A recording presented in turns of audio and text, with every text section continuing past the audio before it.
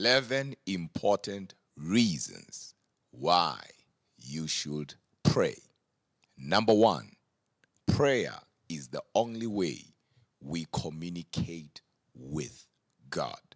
In Second Chronicles chapter 7 verse 14, the Bible declares, if my people who are called by my name shall humble themselves and pray, seek my face, then repent from their wicked ways.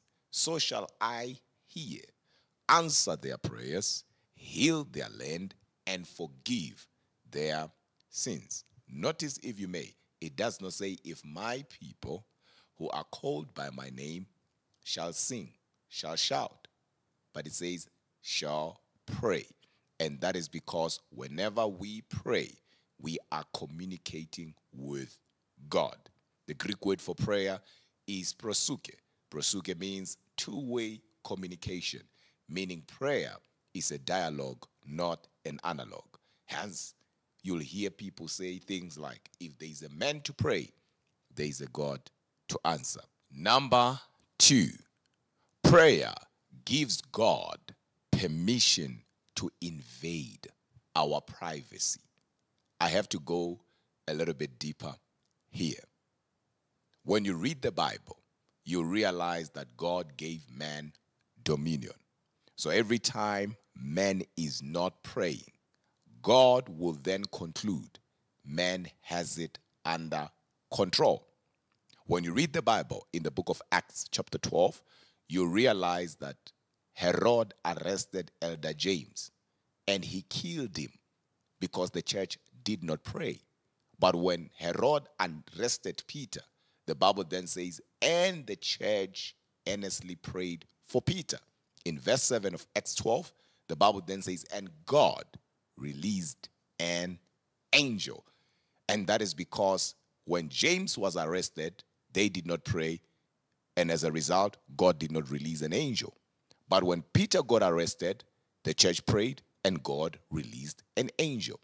So every time you are not praying, you are actually saying to God, I have it under control. Number three, prayer can be sent to the future to restructure things and stop all demonic attacks.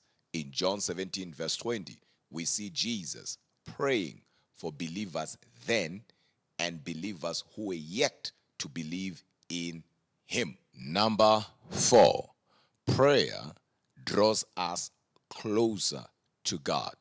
James 4, verse 8 declares, Come near to God, and God will come near to you. How do we do that? How do we come near to God? We come near to God through prayer. Number five, prayer edifies our spirit and transforms us spiritually. In Luke 9, verse 28 through to 36, the Bible says, And as he prayed, talking about Jesus here, he was transfigured. The word transfigured there is a Greek word metamorphoso, where we get the English word metamorphosis. But how did this transformation take place? Jesus was in prayer. You want to be capacitated by God. You want to be edified. Be a woman. Be a man of prayer. Number six, prayer changes things. It can be your situation or it can be you. Jabez prayed and his life changed. Hannah prayed and her situation changed. So never be deceived. Prayer does change things. Number seven, prayer keeps us in the will of God according to First John chapter 5 verses 14. And it also makes us bolder. In Acts chapter 4 and you read verse 31, the Bible says, And after they prayed, they were filled with the Holy Ghost, and they were bold. And they were bold. You want to be bold as a minister, you want to be bold as a chosen person, You want to be bold as somebody who's called, be a man or a woman of prayer. Number eight, prayer stops temptation. In Luke 22, verse 40, Jesus came to his disciples and he said, Pray so that you don't enter temptation. Number nine, prayer materializes the supernatural into the natural. Miracles happen when we pray, and never doubt that. Number 10, prayer protects you from evil. It stops the plans of the enemy against you or your loved ones. In the book of Esther, we see how Esther and the Jewish people prayed, and Haman's plans were turned upside down.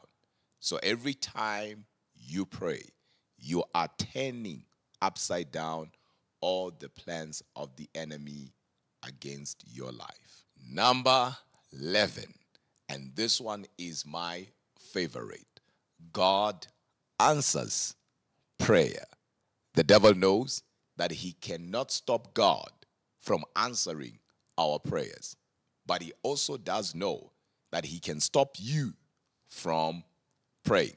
And how do we know that God answers prayer? The Bible says in the book of Daniel, chapter 10, from the first day you set your thoughts to seek understanding, thy prayers, O Daniel, were heard, and God gave you an answer, or God released your answer. So God is always ready to answer us as his children. And the devil knows that. But what he does, the devil, he stops you from praying.